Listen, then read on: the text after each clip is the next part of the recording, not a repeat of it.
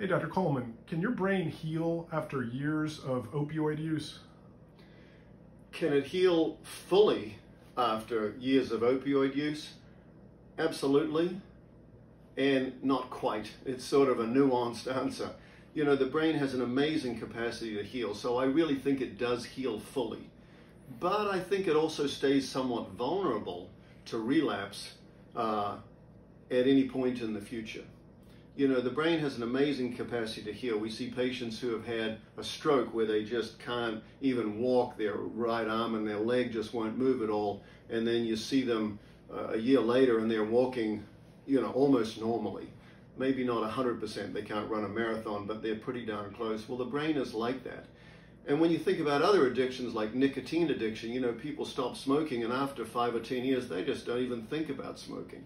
We see people in long-term recovery from opioids who aren't having any cravings. They're not, uh, they're not thinking about it. They, uh, they, they are fully in long-term recovery and they're staying uh, completely normal and completely well. So I think it does heal fully.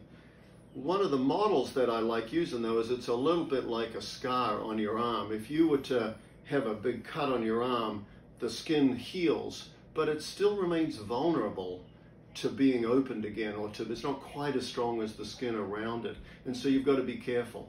And one of the most powerful things about opioids is that the memory triggers and the, the, the, the, the way the brain remembers how good it felt when it was on the opioids remains strong. So we do see people relapsing off opioids at probably a higher rate even after long periods of abstinence if they don't work a good program and aren't incredibly careful. So recovery from opioids requires lifelong vigilance. Does that mean you have to worry about it all the time? No, it just means you have to work your program and be careful.